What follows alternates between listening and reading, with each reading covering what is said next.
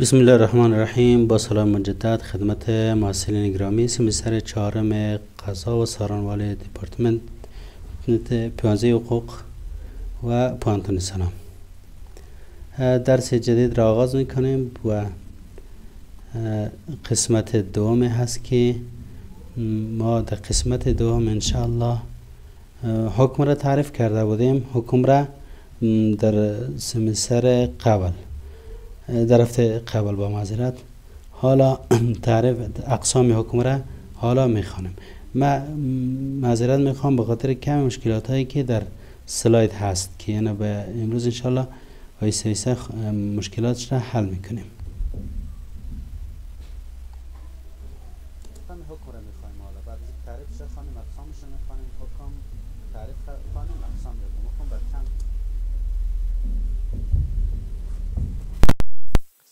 بر دو قسم حکم تکلیفی است و حکم وضعی هست. حکم تکلیفی چی را میگند؟ حکم تکلیفی آن هست که تقاضا تقاضا می کند از مکلف. تقاضا می انجام یا ترک کاری را و یا اختیار می دهد میان انجام دادن و ترک کار.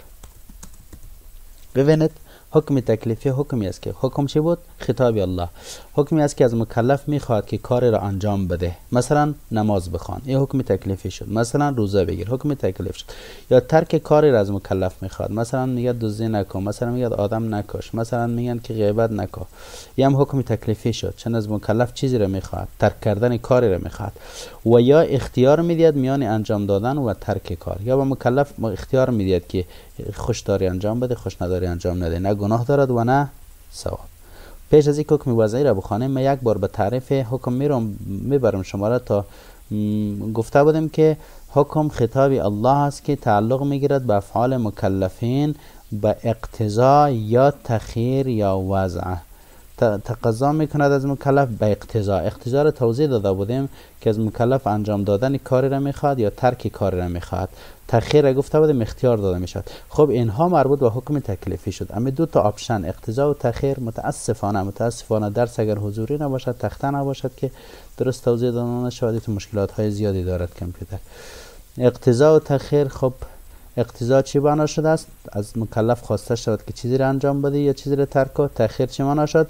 اختیار دادن. امی دو تا option ی از این دو تا گزینه دو تا کلمه دو تا اصطلاحش مربوط به حکم تکلیفی می شود در حکم تکلیفی همی بود که انجام دادن کار یا ترک کار ای خو اقتضا شد. انجام کار یا ترک کاری را از مکلف خواسته می شد یا اختیار داده می شد این تخییر شد. اختیار داده می شد که کار را انجام بدهد یا ترک کند.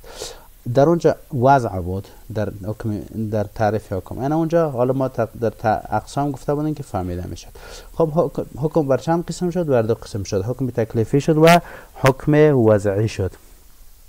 حکم وضعی آن است که تقضا می کند تقاضا می کند گرداندن یا قرار دادن چیزی را. سبب شرط یا مانع برای چیز دیگری. حکم وضعی آن است که شارع خودش از تو چیزی نمی‌خواهد. خب نه انجامی کار از تو می‌خواد نه تو را اختیار میده که کار بکن یا نکن بلکه خود شارع یک چیزی را سبب برای چیزی دیگری میگرداند. یا خودش یک چیزی را شرط برای چیزی دیگری قرار می‌دهد یا خود شارع چیزی را مانع از برای چیزی دیگری قرار می‌دهد. مثال میده گرچه فرقایشان رو می‌خوانیم حکم وضعی مثلا وقت وقت نماز. حالا وقت نماز را می‌گذاریم رمضان. رمضان حکم وضعی هست. چرا؟ فراموش نکنید روزه نگفتم بلکه رمضان گفتم.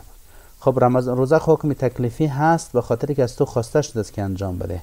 اما رمضان حکم تکلیفی نیست چون از تو خواسته نشده است چیزی. رمضان یک ماه هست خداوند میاره. تو خواسته باشه نه خواسته باشه رمضان می آید پس حکم وضعی است. چرا حکم وضعی است؟ چون قرار داده شده است چیزی را سبب از برای چیزی. رمضان وقتی که آمد این سبب می شود که تو باید روزه بگیری. یا چیزی را شرط از برای چیزی قرار داده می شود مثلا وضو وضوع گرچه حکم تکلیفی هم است از یک طرف تو چون از تو خواسته است اما حکم وضعی هم است چون شرط قرار داده شده است برای نماز. و خب مانعش هم هست مثل سفر. مثل سفر که یا خب مثل مرض مرض شدید یا مثل عادت عادت ماهوار که مانع روزه می شود مانع هست بعد از انسان نیست. اما وقتی که آمد انسان مکلف است که روزه نگیرد دیگه.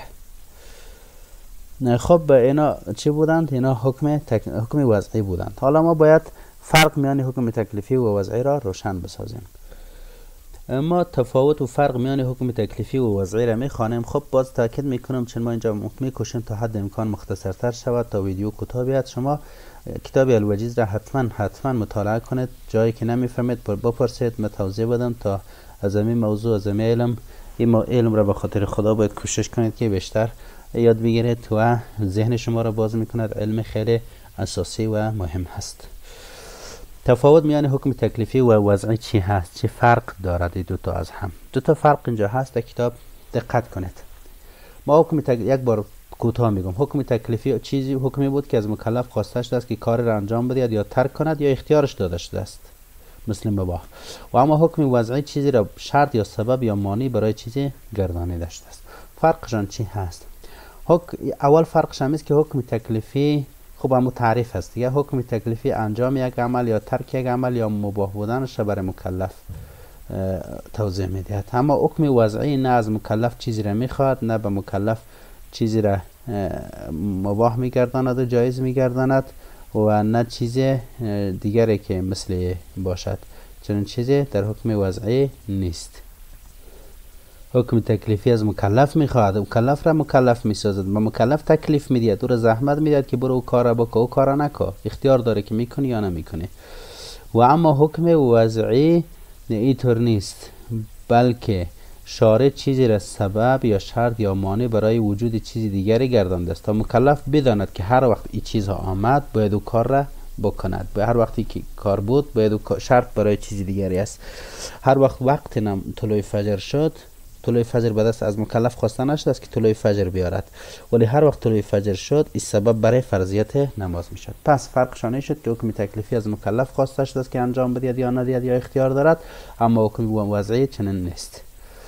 دوم دومین فرق دقت بکنید. حکم تکلیفی در توان مکلف هست. حکم تکلیفی از مکلف چیزی خواسته می شد که انجام بدهد یا انجام ندهد یا اختیار داده می شود که در توانش باشد. که آن را انجام بدهد یا ندهد. اما حکم وضعی لازم نیست که حتما در توان مکلف باشد. خب دقت بکنید. نگفتم که حکم وضعی در توان مکلف نیست بلکه گفتم لازم نیست که در توان مکلف باشد.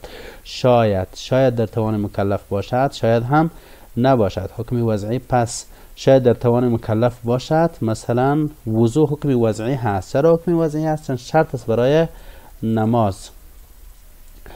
شرط برای نماز هست. اما در توان مکلف هست. مکلف است که وضو می‌گیرد. اما خب وقت حکم تکلیف حکم وضعی است اما در توان مکلف نیست. مکلف نیست که وقت نماز را بیارد. مکلف نمی‌تواند رمضان را بیارد. بعضی گوش کنید حکم تکلیفی همیشه در توان مکلف است اما حکم وضعی بعضی اقسامش در توان مکلف هست بعضیش در توان مکلف نیست. توجه. اما اما حکم وضعی که در توان مکلف می‌تواند باشد اما قسم حکم وضعی از یک طرف حکم تکلیفی هم هست. متوجه باشید بعضی از اقسام حکم وضعی حکم تکلیفی هم هستند.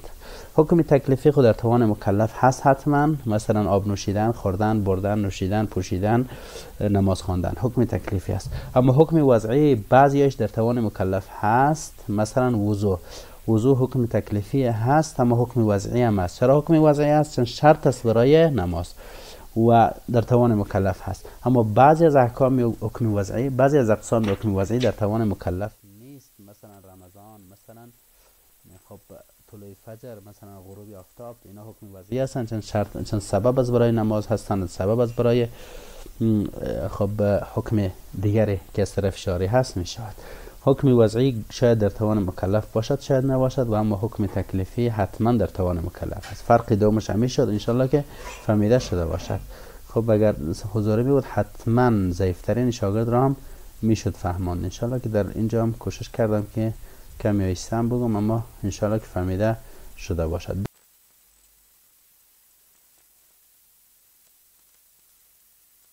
حکم تکلیفی تعریفشی بود که حکم تکلیفی هم که از مکلف خواسته می شود که کار را انجام بدهد یا ترک کند یا اختیار داده می شود که او کار اگر خواست انجام بدهد اگر نخواست ترکش بکند. و حکم وضعی اما بود که شارع چیزی را به عنوان به عنوان شرط سبب یا معنی برای چیزی دیگری قرار می‌دهد. را خوانده بودیم و بعد فرقی دو را خوانده بودیم. فرق میان حکم تکلیفی و حکم وضعی را خوانده بودیم. حالا حکم تکلیفی را اقسامش را می‌خوانیم. حکم تکلیفی حکم تکلیفی یعنی حکمی بود که شارع از مکلف چیزی را می‌خواد که انجام بدهد یا چیزی را می‌خواهد که ترک کند یا چیزی را می‌خواهد اختیار برش می‌دهد که انجام بدهد یا ترک کند. اقسام حکم تکلیفی. نزد جمهور یعنی نزد شوافی نزد مالکی نزد حنابله حکم تکلیفی بر پنج قسم هست. یکی ایجاب هست. ایجاب یعنی واجب گردانیدن.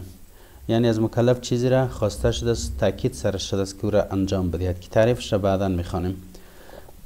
دومین حکم تکلیفی استحباب هست که نده به هم برش میگند یعنی چیز را مستحب گردانیدن. سومین حکم تکلیفی تحریم هست یعنی حرام گردانیدن چیزی. و اوی است که از مکلف خواسته شده است که فلان کار را انجام نده. دزدی نکن. و چهارمین حکم تکلیفی کراهت است. این از مکلف خواسته شده است که فلان کار را انجام نده. اما در تحریم لازم گردانیده است ترک آن کار را. در کراهت لازم نگردانیده است فقط بهتر است که او کار را ترک بکند. برش ارجحیت داده است. تعریف کلش جدا خوانده می‌شد و پنجمین حکم تکلیفی نزد جمهور اباحت هست. یعنی مباح گردانیدن چیزی. گفته بودیم در تعریف که چیزی را بر مکلف از مکلف خواسته شده است که انجام بدهد یا ترک کند یا اختیار داده شده است.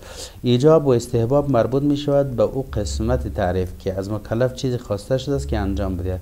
فرق ایجاب و استحبابی است که در ایجاب به سبیل لزوم الزام آور لازمی سرش گردانیده است. اما در استحباب فقط راجح گردانیده است. یعنی بهتر هست که انجام بدهد. و تحریم و کراهت این دو تا حکم تکلیفی است که از مکلف ترک آنها خواسته شده است. در تحریم به سبیل الزامی و در کراهت به سبیل بگونه غیر الزامی. و اباحت در آخر تعریف خوانده بودیم که و اختیار داده شده است مکلف که انجام بدهد یا نه.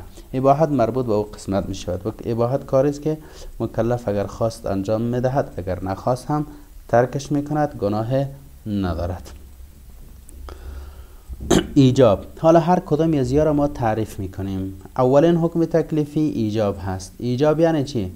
ایجاب به معنای واجب گردانیدن. یعنی واجب یعنی فرض گردانیدن. نزد جمهور فرق میان ایجاب و واجب و فرض نیست. به او خاطر وقتی که نزد جمهور گفتیم پنج قسم است چون اینجا فرض و واجب ندارند نزد احناف باز تعریف کمی فرق می‌کند که بعدا می‌خوانیم. ایجاب یعنی واجب گردانیدن چی را میگن؟ کدام قسم حکم تکلیفی است؟ عبارت است از طلب کردن شارع انجام کار را به گونه حتمی و الزامی. عبارت است از اینکه شارع از مکلف انجام یک کار را به صورت حتمی و الزامی طلب نموده است. ازش خواست است که این کار را حتما باید انجام بده. این کار را واجب گویند. اما کاری را که شارع به صورت الزام آور از مکلف خواسته هست آن را واجب میگند فرض هم برش میگند یا اولین حکم تکلیفی شد معاصرین بیشتر علاقه دارن که نوت بگیرن. خب نوت از این قسم بیشتر متفاوتتر نمی‌شود داد شما می‌تونید که تعریف ها را یادداشت بگیرید پیش خودتان. البته در کتاب هم هست. اگر صنف می بود باز می‌شد که هر قسمی که خواسته بودیم همون قسم پیش براییم. دومین قسم حکم تکلیفی استحباب هست. پنج تا بودن نزد جمهور استحباب را دومین معنایش هست ندبه عبارت است از طلب کردن شارع انجام کار به انجام کار را به صورت ترجیح نه به صورت الزام آور. خب شما امو خطی را که من می‌خوانم امو را متوجه مو باشید. عبارت است از اینکه شارع از مکلف انجام یک کار را خواست است و اما او کار را ترجیح داده است. میان از اینکه ترک کرده شود. منظور است که در میان دو تا, دو تا گزینه شارع یکی را اولویت داده است. گفته اگر انجام بدهی بهتر است از اینکه ترکش بکنه این کار را مستحب میگند. خب باز حکمش چی است؟ یعنی اگر کسی انجام داد چی می‌شد؟ نداد؟ چی است؟ تفصیلشان میاد اینجا صرفا در اینجا در درس فعلا ما تعریفشان می‌کنیم. ایجاب مثلا پنج وقت نماز فرض است. شارع خواست است و لازم گردانید است که تو باید این کار را بکنه استحباب از, از مکلف خواست است اما بر سبیل ترجیح. ترجیح معنا؟ از ترک کرده انجامش گفته است بهتر هست. مثلا شما گفته است که به دست راست آب بنوشید. از مکلف خواست است اما لازم نیست بلکه مستحب است. کار خوبی هست. سومین حکم تکلیفی تحریم هست. سومین کاری که از مکلف خواسته شده است اما انجامش نه بلکه ترک آن خواسته شده هست تحریم هست. اما کار را تحریم میگن یعنی حرام گردانیدن. تحریم چی است؟ طلب کردن شارع ترک کار را به صورت الزامی. این است که شارع از مکلف خواست است که فلان کار را ترک بکن و این ترک کردن لازمی هست. حتما باید تو کار انجام نده. لازم از بالایت اگر انجام داده تهدید در قبال دارد. خب ایرا ای کار حرام میگن. ای کاری که مکلف از شاری از مکلف خواست است و لازم گردانید است که او را ترکش بکند. ای کار را میگند حرام. و چهارمین حکم تکلیفی کراهت هست. کراهت است که طلب کردن شارع خب کراهت همو مکروه دانستن. طلب کردن شارع است ترک کار را به صورت ترجیح نه الزامی. است که مکلف از از شارع از مکلف خواست است که این کار را ترک کن. اما لازم سرش نگردانید است که حتما ترک کن اگر نکرده میره به دوزخ. بلکه گفته است که ترجیح است. یعنی بهتر هست که ترک کنی از که انجامش بده. مثلا خب به دست چپ آب نوشیدن کراهت است. شارع خواست است که انجام نده. اما لازم نیست و اگر گاهی انجام داده کفر نیست گناه نیست. اما مکروه است. شارع گفته است که کار نکن و بهتر است که کار را نکنه یک با مزیرت اینجا نوشته است آن کار را حرام می نامند غلط است. آن کار را کراهت مکروه نامند. کاری که شارع از مکلف خواسته است که انجامش بده و او را اولویت داده است. انجام دادنش را اولویت داده است. بهتر خوانده است. این کار مکروه است. خب فرق حرام و کراهت را که انشالله متوجه شده باشید. ببینید دوستا فرق ایجاب و استحباب در یک مناسبت ایجاب و استحباب با هم دارند. هم در ایجاب و هم در استحباب هر دویش از مکلف خواسته می شود که کاری را انجام بدهد. هم واجب و هم مستحب از مکلف انجام اونها خواسته می شود با این تفاوت که در واجب در واجب انجام آن کار خواسته می شود اما به صورت الزامی. در استحباب انجام کار خواسته شده است به صورت ترجیح. یعنی فقط تشویق هست. یعنی انجام داده شود اما اگر انجام هم ندهد گناه ندارد. فرق تحریم و کراهت. اول مناسبت شانی است که هر دویش از مکلف خواسته شده است که ترک کند. هم حرام را باید ترک کند هم مکروه را. اما فرق شانی است که حرام را لازم هست که ترک بکند اما مکروه را لازم نیست که ترک کند. بهتر هست که ترک کند. خب پنجمین حکم تکلیفی اباحت هست. اباحت از اونها فرق می کند اباحت تعریفشی است؟ اختیار دادن شارع مکلف را میان انجام یا ترک کاری. مکلف مخیر گردانیده شده است که اگر خوش دارد و کار را انجام بدهد اگر خوش ندارد ترکش بکند گناهی نیست. خوش دارد مثلا سبزی بخورد خوش ندارد برنج بخورد خوش دارد فلان غذا را بخورد مباح است. حکم از را بعدا می‌خوانیم که خب مثلا میله رفتن شکار کردن امثال از کارهای مباح هستند انشالله که فهمیده شده باشد حکم تکلیفی نزد جمهور پنج تا شدند. اما نزد احناف دو تا دیگه هم اضافه می شود. این ما می‌گذارم. به بعد اول اول می‌خوانم. تعریف یمی پنج تعریف و تفصیل یمی پنج داره در ضمن از دو تایی که نزد احناف اضافه است یک تا در ضمن ایجاب یک تا در ضمن کراهت او را در ضمن از اینها بیان می‌کنیم. خب اولین حکم تکلیفی و ایجاب بود یعنی واجب گردانیدن. واجب چی هست؟ واجب کاری هست که شارع انجام آن را به صورت الزامی طلب نموده است. به گونه ای که انجام دهنده آن مستحق مدح خب تعریفش تا به همینجاست کاری است که شارع به صورت الزامی از مکلف انجام آن را طلب نموده است. شما مثال بدید پنج وقت نماز هست واجب هست. گفتیم که نزد جمهور فرق میان فرض و واجب نیست. واجب است یعنی از مکلف خواسته شده است که آن را انجام بدهد و لازم سرش گردانیده شده است. روزه رمضان واجب هست فرض است یعنی. اینجا به گونه ای که انجام دهنده آن مستحق مدح و پاداش میگردد. قسمی هست واجب که از مکلف خواسته شده است به صورت لازمه که اگر آن را انجام داد مکلف مستحق مدح میشه در دنیا قابل توصیف هست. فلان فلان شخص قابل تعریف هست. و پاداش در آخرت برش می‌رسد. و ترک کننده آن مستحق زم و عقاب است. اگر واجب را کسی ترک کرد در دنیا سرزنش و نکاهش را سزاوار است و در آخرت مستحق عقاب هست. این تعریف واجب شد و در ضمن پیامد واجب یعنی حکم واجب هم گفته شد.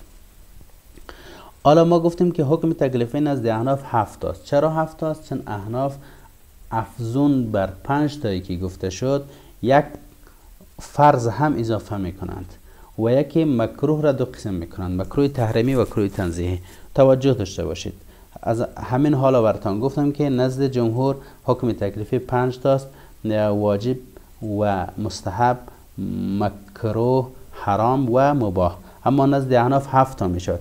واجب فرض. اول فرض است بعد واجب هست بعد مستحب است بعد مکروه تحریمی است با معذرت حرام است بعد از حرام مکروه تحریمی است و بعد از او هم مکروه تنزیهی است. هفت تا شد. فرقش از, از جمهور این شد که نزد احناف فرض یک چیزی جدا از واجب هست. پس شش تا شد و مکروه نزد جمهور یک تاست نزد احناف دو تاست. مکروه تحریمی است و مکروه تنزیه است. فرق اونها در بحث کراهت خوانده می‌شد حالا فرق فرض و واجب را میگیم. نزد احناف واجب از فرض فرق دارد. نزد جمهور چه ندارد؟ خب تعریفش کردیم. تعریف واجب درست هست اما نزد احناف هم عین چیز است. اما فرض را چیز جدا می‌دانند. فرض چی هست؟ فرق میان فرض و واجب. تعریف هر دویش امو چیزی است که گفته شد. هم فرض کاری است که شارع به صورت الزامی از مکلف خواسته است که انجامش بدهد و هم واجب کاری است که مکلف از مکلف خواسته شده است که مکلف تو باید او را انجام بدی و اگر انجام نداده مستحق عذاب هستی. حالا فرقشان چی هست؟ فرق میان فرض و واجب نزد جمهور فرق میان فرض و واجب نیست. یک چیز است. اما نزد احناف واجب و فرض فرق دارند. فرق شانی است. ببینید. توجه بکنید. خب احناف میگن که هر دویش به صورت الزامی از ما خواسته شده است. اما دلیلی که از ما خواسته است اگر دلیلی که توسط آن دلیل ثابت گردیده زنی بود مانند خبر واحد آن کار واجب هست. اما اگر آن کار به دلیل قطعی ثابت گردیده بود مانند نصوص قرآن آن کار فرض است. توجه بکنید توضیح میدم. متاسفانه که سنف حضوری نیست. اگر نه توضیح مسائل خیلی ساده است. احناف میگن که خب در هر دو را فرض و واجب را از مکلف خواسته شده است که باید انجام بدهد. اما از ما توسط کدام قسم دلیل خواسته شده است؟ دلیلی که ما حکم را به ما رسانیده است چه قسم دلیل هست؟ ببینیم که دلیل قطعی او را از ما خواسته است یا دلیل زنی اگر به دلیل قطعی خواسته شده بود دلیل قطعی چی هست؟ دلیل یقینی که هیچ شک و شبهه در اون نیست مثلا قرآن. اگر در قرآن مثلا خواسته شده بود و قطعی دلالت هم بود در اون صورت حکم او مسئله واجب او فرض است. فرض است که باید انجام داده شود. مثلا واقیم الصلات نماز ادا کنید. خب اگر در باب روزه حکم قطعی هست چون در قرآن آمده است. و اما اگر حکم حکم توسط دلیل دانسته شده بود که دلیل قطعی نبود زنی بود زنی چی را میگن؟ زنی مثلا خبر واحد که ما بعدا خبر واحد را در بحث سنت توضیح میدیم. خبر واحد اما حدیثی که مثلا یک نفر روایت کرده است. این زنی است. احتمال خطا در او هست. به درجه و سویه قرآن نیست. اگر توسط خبر واحد یک چیزی ثابت شده بود او کار فرض نیست باز نزد احناف بلکه واجب هست. یعنی درجه واجب از فرض کمی پایین تر هست نزد احناف. فرقشان در هست که فرض توسط دلیل قطعی مثل قرآن مثل خبر متواتر حدیث متواتر به ما رسیده است. اما حدیث اما واجب توسط خبر واحد به ما رسیده است. نه توسط خبر نه توسط دلیل قطعی. انشاءالله که فرق از یا فهمیده شده باشد اگر اشکالی باشد ایره با سوال را برای من برسانید. من انشاءالله توسط توضیح بدم باز. با عرض معذرت. خب فرق فرض و واجب بود. یعنی نزد احناف به او خاطر هفت است که یک تا دیگه هم اضافه شد. فرض هم اضافه شد در اقسام حکم تکلیفی. انشالله که فرقی دو تا فهمیده شده باشد. من یک موضوع را می‌خوام اینجا یادآور شوم که ما دلیل قطعی و دلیل زنی گفتیم. این موضوع را کمی توضیح میدم براتان که دلیل قطعی چی را میگن دلیل زنی چی را میگن باش من اینجا یک فایل ورد باز کنم در فایل ورد نوشته کنم تا براتان بشود توضیح داد. تخته خو اینجا فعلا نیست. من اینجا ریکاردر رو توقف دادم تا وقتتان در ویدیو زیاد صرف نشه منتظر نمانید این تایپش کردم. اقسام دلیل به اعتبار قطعی بودن و زنی بودن این خیلی درس خیلی مسئله مهمی است. اینجا من این را مطرح کردم. شما باید باید این را بفهمید. حتما باید بفهمید. برای همیش در هر جا براتون به در می‌خورد. دلیل قطعی و زنی داره. میره باید بفهمیم. به خاطر از باید بفهمیم که ما وقتی که واجب و فرض را می‌خوایم صحیح کاملا دقیق فرقشان را بفهمیم نیاز داریم که قطعی و زنی را بفهمیم. گفتیم که فرض به دلیل قطعی ثابت هست و واجب به دلیل زنی. و این فرق فقط نزد احناف هست و در دیگر مذاهب چندانه بحث سرش نشده است. اولین قسم دلیل قطعی و ثبوت قطعی و دلالت هست. دومین دلیل قطعی و ثبوت زنی و دلالت هست. سومین قسم دلیل زنی و ثبوت قطعی و دلالت هست. چهارمین قسم دلیل زنی و ثبوت و زنی و دلالت هست. توجه بکنید. اصطلاحاتی که در اینجا به کار می‌بریم را خوب تمرکز بکنید. قطعی و ثبوت یعنی چی؟ قطعی و ثبوت دلیلی را میگیم که ثبوتی و قطعی باشد. یعنی از پیامبر به صورت یقینی صادر شده باشد مثلا گفته باشد و به ما رسیده باشد و هیچ گونه شک دری نباشد که او توسط پیامبر گفته شده است و به ما رسیده است. او را قطعی و ثبوت میگن. انشاءالله که قطعی و ثبوت فهمیده شد. قطعی و ثبوت دلیلی است که در ثبوتش هیچ شکی نیست. مثلا شما می‌فهمید که در کابل هستیم. و قطعی و ثبوت است در هیچ شکی ندارد قرآن قطعی و ثبوت است. چون هیره یک جماعت بزرگ روایت کردن که امکان ندارد که کل اینها اتفاق بر دروغ کرده باشند یا اتفاق بر خطا یا اشتباه کرده باشند. حدیث متواتر که بعدا می‌خوانیم قطعی و ثبوت است. چون جماعت بزرگی هزاران شخص با مذرت ده ها نفر روایت کرده سوره که شک در او کرده نمی‌شد قطعی و ثبوت انشاءالله که فهمیده شده باشد. جلال آباد در کجا است؟ در افغانستان است. لندن در کجا در انگلستان. گرچه ندیدید ولی یقین دارید. و قطعی و ثبوت میگن متواتر هست. قطعی و دلالت چی را میگن؟ توجه.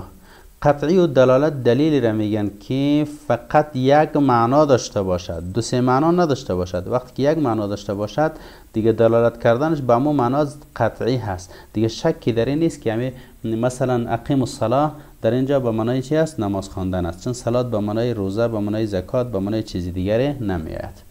قطعی و دلالت اون است که دلالت بر معنایش قطعی است. زنی و ثبوت داریم. قطعی و ثبوت و قزنی و دلالت باشد. زنی چی را میگن؟ زنی و ثبوت را میگن که در ثبوتش یقینی به حد نباشد. مثلا خبر واحد. خبر واحد می یک کس روایت کرده است. خب مفید زن هست. گمان غالب و قوی ای است که این درست است. اما احتمال خطا دارد. هرچی باشد انسان هست. خب حالا بیاید توضیحشان بدیم. زنی و دلالت با مزل زنی و دلالت هم لفظی است که لفظی است که چند معنا دارد. وقتی که لفظ چند معنا داشت یک معنایش می‌گیری اما امکان دارد که اون معنای دیگه درست باشد. مثلا قرع کلمه قرع به معنای حیز هم هست به معنای طهرم هست. وقتی که یک معنایش گرفته شد زنی و دلالت هست. احتمال دارد که دیگهش درست باشد. خب حالا قطعی و ثبوت و قطعی و دلالت او تو یک دلیل را میگن که هم ثبوتش قطعی است یعنی به صورت متواتر به ما رسیده است و هم دلالتش قطعی است. یعنی فقط یک معنا دارد.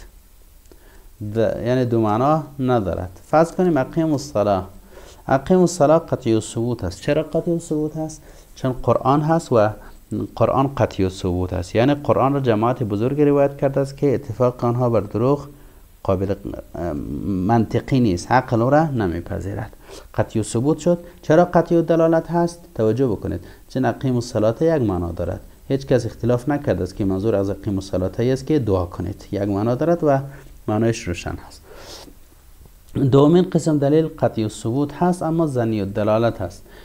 قطعی و ثبوت است یعنی قطعا ثابت هست اما دلالت بر معنایش چند چند معنا دارد به خاطر امکان دارد که او معنای دیگرش درست باشد. درباره عدت زن مطلقه گفت ثلاثه قرو و المطلقات یتربصن بانفسهن ثلاثه قرو زنهای مطلقه سه, سه حیز عدت تر کنند. اینجا ما حیز گفتیم. یا اینکه ما طهر بگوییم هر دو معنا را دارد قرع. دو معنا دارد. هر معنایی که بگیریم امکان دارد که اون معنا اشتباه باشد معنای دیگهش درست باشد. به همین خاطر زنی و دلالت شد و در موردش هم اختلاف از احناف یک معنایش می‌گیرند شوافی دیگه معنایش دلیلی که زنی و ثبوت باشد اما قطعی و دلالت باشد. مثلا انما الاعمال بالنیات.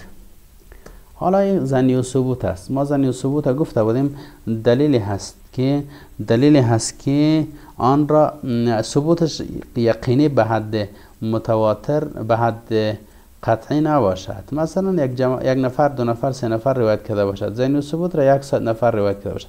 اینما الاعمال بالنیات را یک صحابه روایت کرده است. عمر رضی الله تعالی زین و ثبوت هست. یعنی به او درجه قطعیت مثل قرآن نمی‌رسد. اما قطعی و دلالت هست. چون یک معنا دارد؟ اینما الاعمال بالنیات اهمیت نیت را میرساند. دار و مدار اعمال به نیت است. چهارم قسم دلیل زنی و ثبوت. زنی و دلالت هست.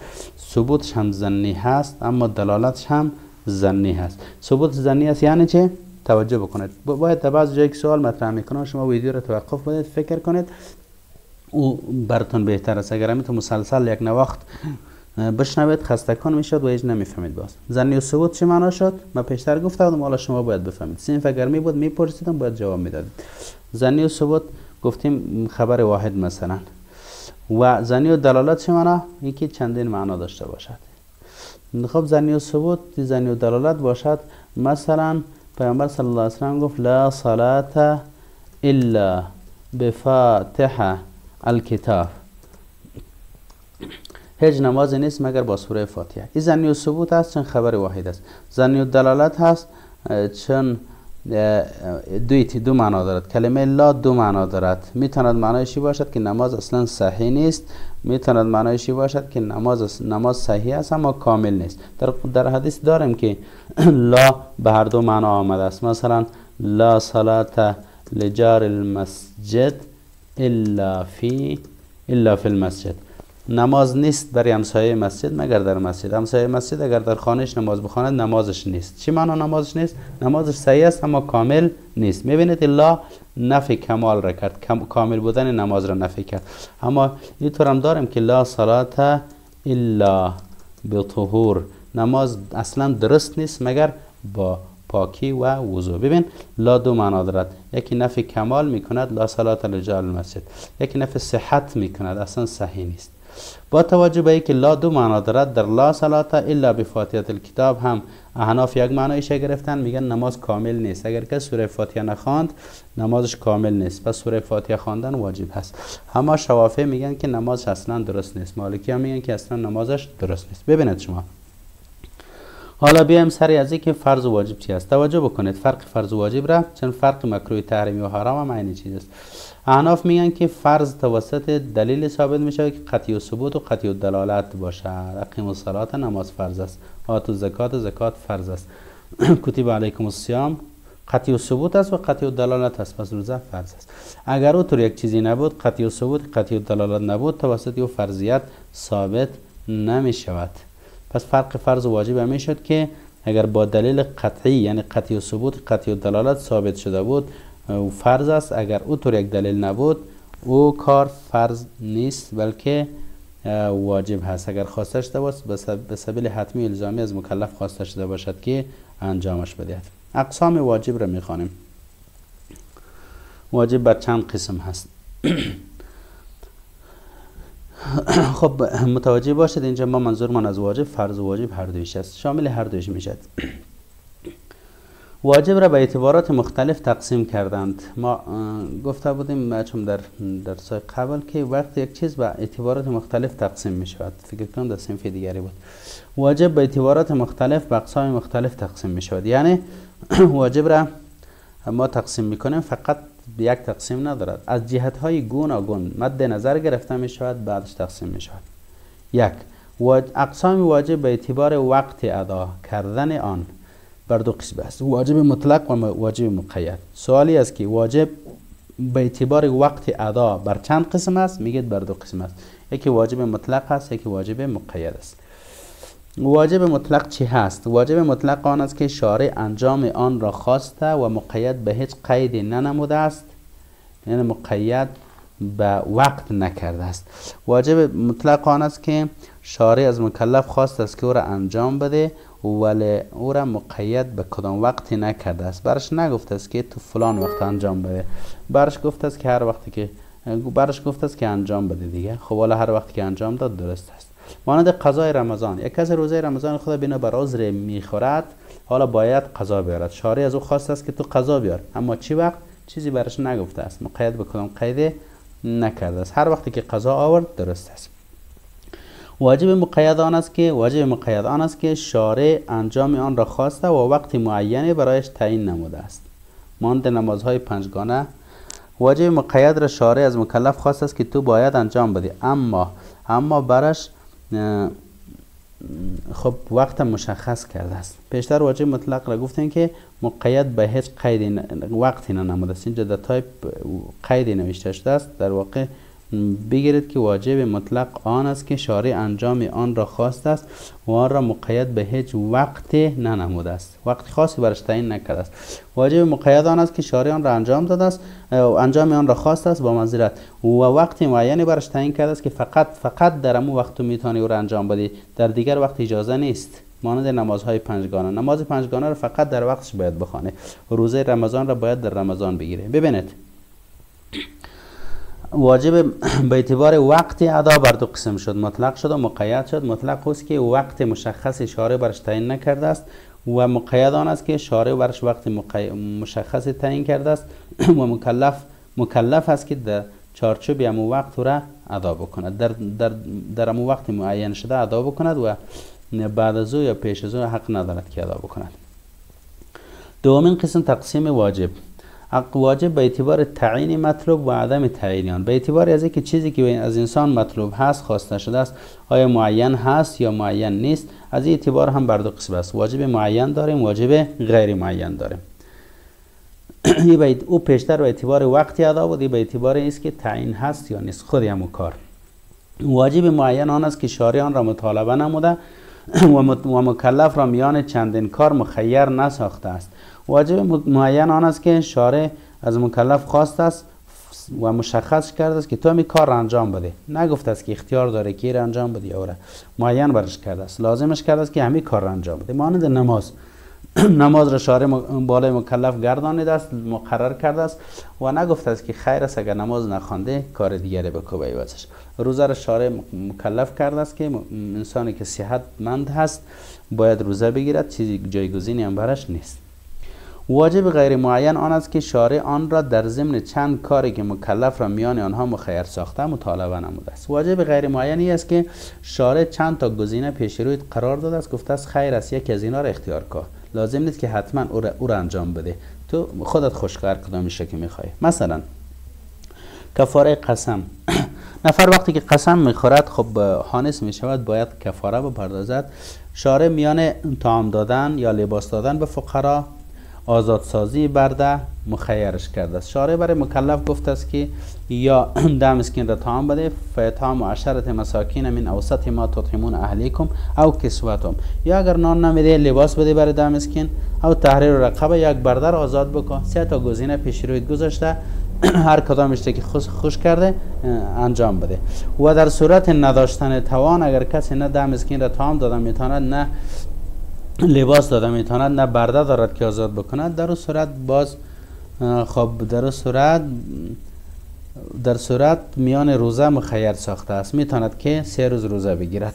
می‌بینید واجب غیر معین است که شارع در میان چندین کار از مکلف خواست است که یکیش انجام بده. ببینید واجب هست. لازم است که انجام داده شود. اگر مشخص یک یک عمل بود او را واجب معین میگن اگر در میان چند تا گزینه چند تا آپشن مکلف اختیار داشت که هر کدامش را خواست انجام بدهد و اما باید یکی از اونا را انجام بدهد. او را واجب غیر معین میاد تقسیمات دیگری هم داریم ولی فعلا بس چند ویدیو هر